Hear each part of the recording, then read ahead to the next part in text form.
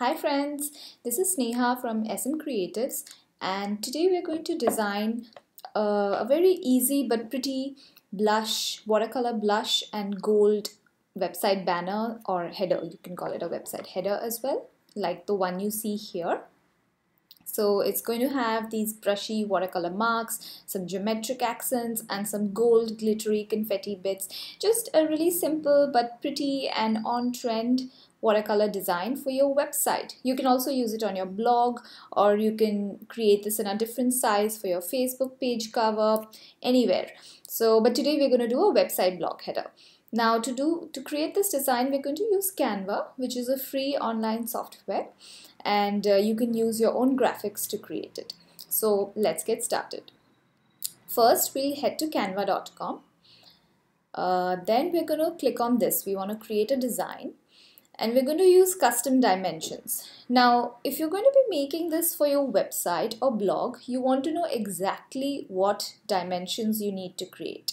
So you can get this information easily by seeing your existing header. You know, whatever theme you might be using will already have some sort of a placeholder header in place and you can see their properties to see what the dimensions are and feed in the dimensions here. Now what I'm going to do is I'm going to use the dimensions uh, which are pretty popularly used in themes on WordPress and Square uh, Squarespace. I have a few web branding kits on my website and I've done a bit of research and based on that research I've uh, come to the conclusion that this is a pretty good size 2732 by 656 pixels for most website headers. So this is the size that I'm going to be using today. But uh, you should make sure that the uh, dimensions that you use are customized to your website theme. Okay so we'll feed this in. 2732 by make sure this pixels is selected because this is for digital design so you're going to go with pixels not the other measurements I'm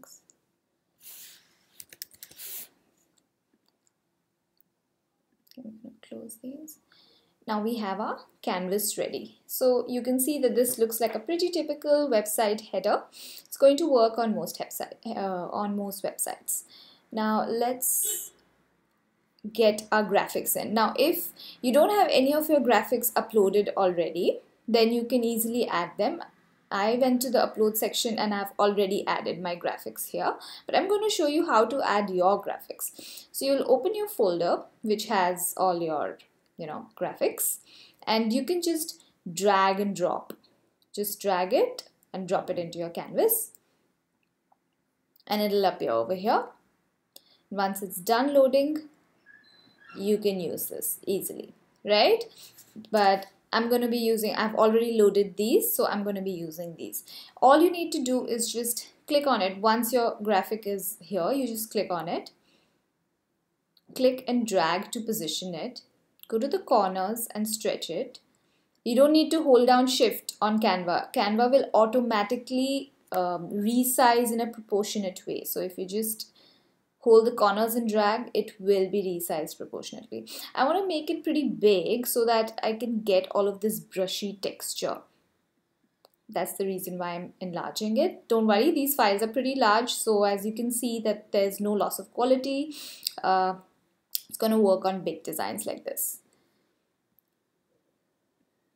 Do the same thing. While designing things like this, I always like to start at the corners and then build up.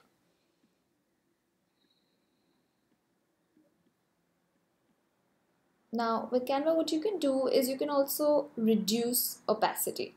So you see this button, click on it and just adjust opacity because I want it to look a little bit softer. I can reduce transparency, right? Next what you can do is I want another one of these over here. Here. So what I'm going to do is I'm going to select it and click on duplicate. That duplicates the graphic element exactly. Resize it and insert.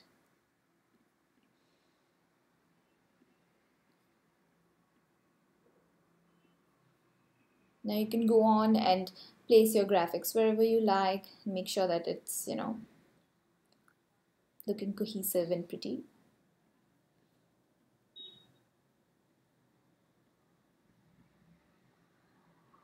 Next I'm going to add some glitter. Now you can easily again you can just drag and drop it. And there you have it. Just want a touch of glitter you can click on it again and it appears. And there we have it. You can use this this button here to rotate things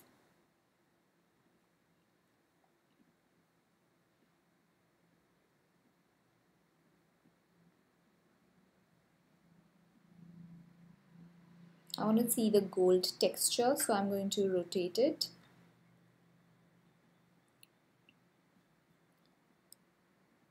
Now I want to show you another thing.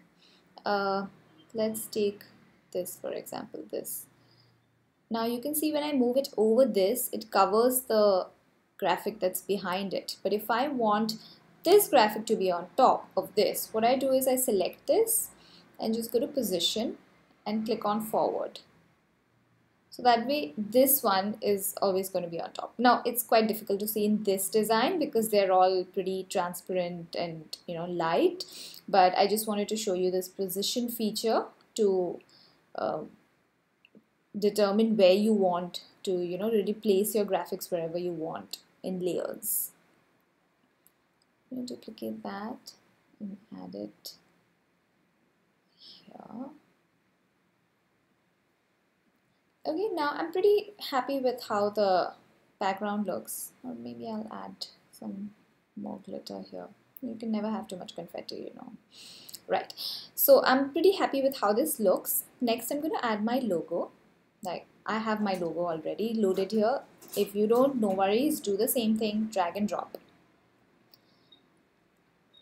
Now, as you move, Canva will show you these pink lines, which basically means that your design is centered. So you want to make sure that your logo is centered because we're making a banner. Right? I'm happy with this now, but if you want to add any more text, then you want to go to text, choose a type of text, add your custom text, you know, use this button to move it. You can make it larger, smaller, whatever, you know, you can add.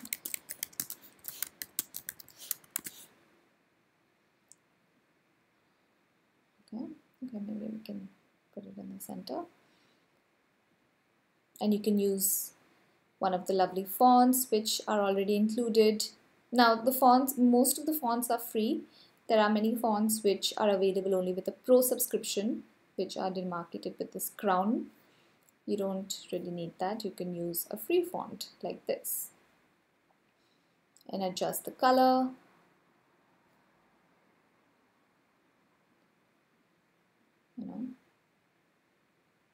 again centering it. That's it. So I don't really want this text so I'm going to delete it but and I'm happy with the design how it is right? So now it's time to save. To save and export you just go to publish click on download. Now here you'll have a bunch of options like uh, Canva suggests PNG it's also JPG and your PDF if you're going to print something then always always always go with PDF print because that's the only export which is at 300 dpi which is what you need when you're printing things. But for digital PNG or JPG are both alright I'm going to save it as a JPG because it looks pretty much the same as a PNG we don't have any transparent elements here like the background is going to be white. So I'm good with JPG and the size is file size is much smaller so your website will load faster. So I'm going to go to JPG and click on download.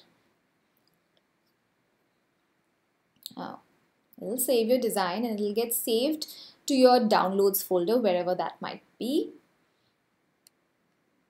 And here we go. This is our finished design is ready and you know. Oh I just noticed that here we have the we have this graphic on top of the glitter. So you know you can go back and fix that. Go back. Actually we're going to select this. Move forward. There you go. Now you can see that it's shining. So now this is done. You can save it again. I'm not going to save it because you know how to do that but yes, we have our finished design done and I hope you found this tutorial helpful. I have linked to the products that I've used in this design in the description below. I have basically used this kit which has pastel watercolor splashes and some confetti and this kit which has metallic geometric frames. I've used the gold frames and to design this this is really easy. Canva is free. You really just need your own graphics and your logo and you're done. You know you can easily create your own graphics. You can use this process to design other things for your website like landing pages or you know uh, slider images gallery images or big square boxes with like graphics which you want people to click on. So there are lots of applications and uh, yeah it's quite easy to make your whole brand out of just these two simple kits. Um, so thank you so much for watching this video and uh, please share it with your friends if you found it useful and you think they might also find it useful. And thank you. Have a good day